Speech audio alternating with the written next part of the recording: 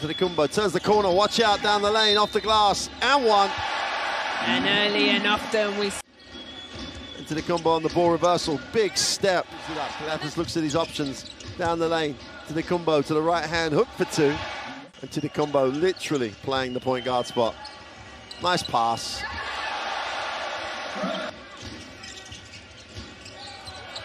Watch out.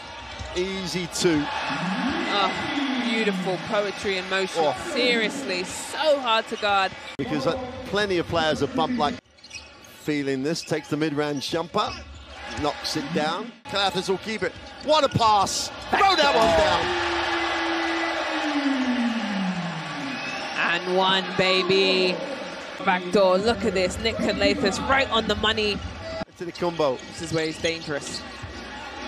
Yep.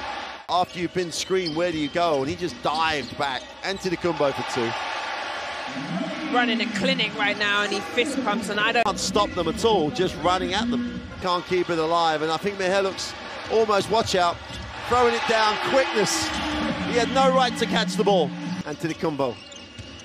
Backs in, steps back, one foot. Antetokounmpo. Gets to the foul line, stops, pops, scores. I mean, it's uh, just point second half for them.